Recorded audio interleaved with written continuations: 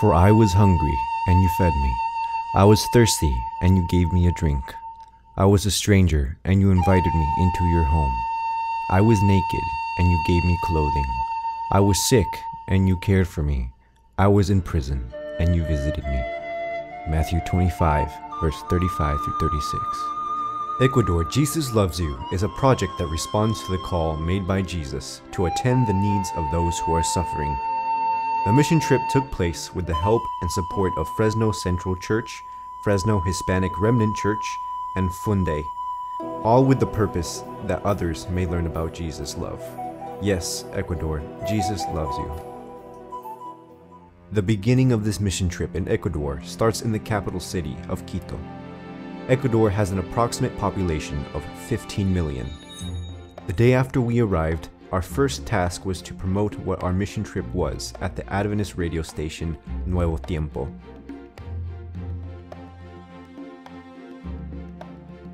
However, the most exciting part was yet to come. Soon we would be partying to our missionary destination. There, our group of missionaries, which consisted of a large amount of Fresno Central Church members and local volunteers, would be offering their services in five different towns that were affected by the earthquake back in April of 2016. We arrived in a small town named Tonchigüe on the coast of Ecuador. There, our mornings consisted of group devotional meetings and also meetings to plan out our daily activities.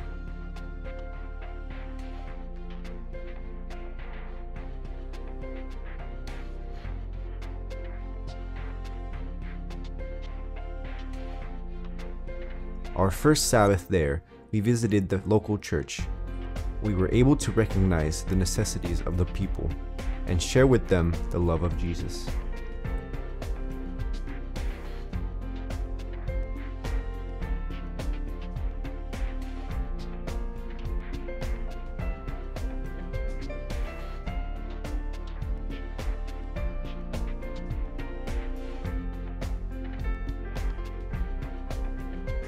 At the church, we were able to distribute 90 family care baskets to the church members that had the most necessities.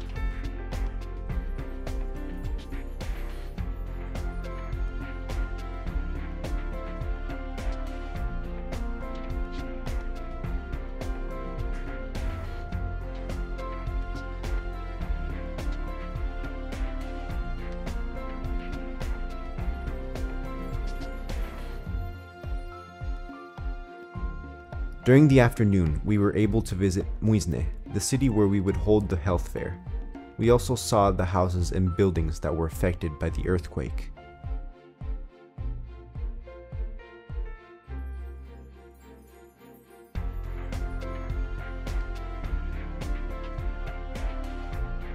While being there, it was evident what the people's needs were.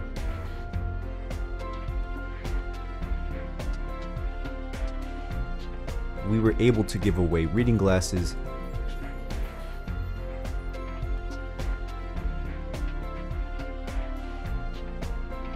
offer medical attention such as family medicine,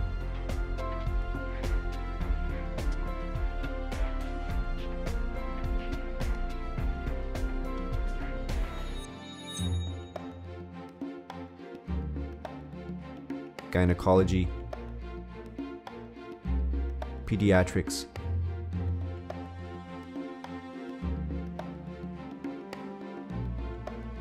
physical therapy,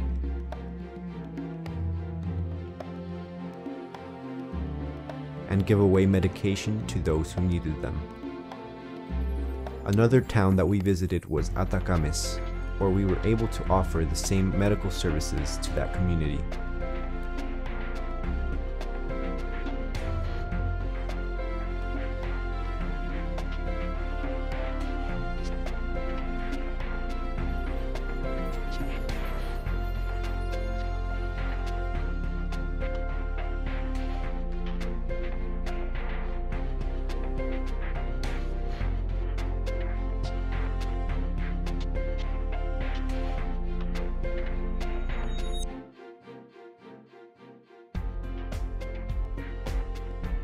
Continued our journey in the town of Balsalito, an area separated from the city and where poverty was much more noticeable.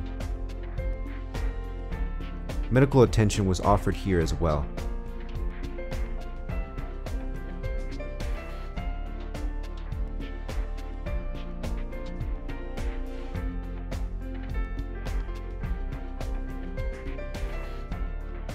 We were also able to share with the children the different songs and stories from the Bible.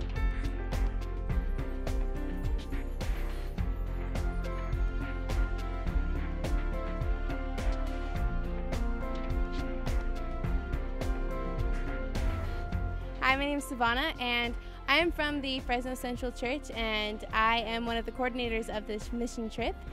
The first community that we went to was Muisne, and that was the place that we did the most work. We were there from about 8 a.m. till 7 p.m. working with patients, and something that I notice is there are people who have suffered a lot. They've suffered a lot in the past year and a half with earthquakes, and um, they haven't been attended to by the government.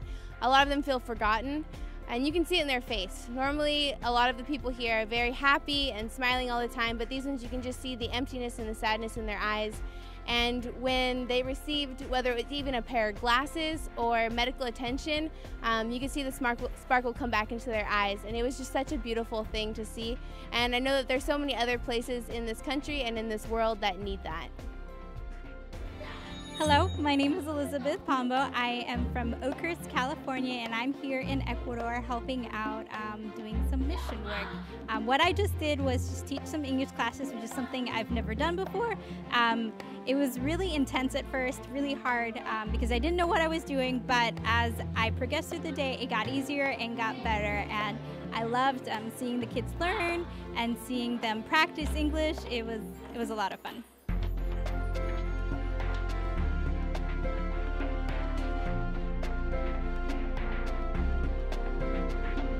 Our fourth day consisted of visiting two local schools in Tonchigüe. We were able to have sessions with the students with topics about health, God, and even some English classes.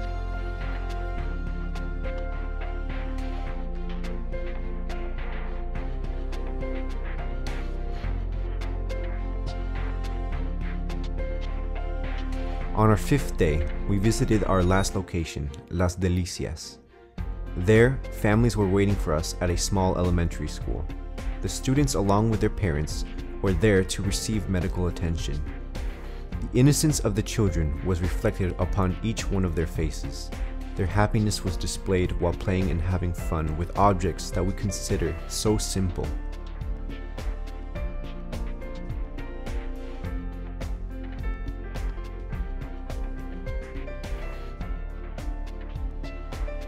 Once again, we were able to offer physical therapy, medical attention, and free medication.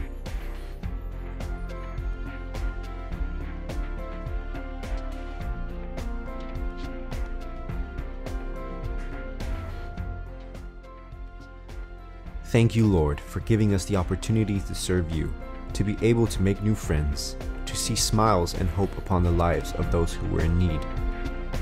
What a blessing it is to give, because it is better to give than to receive.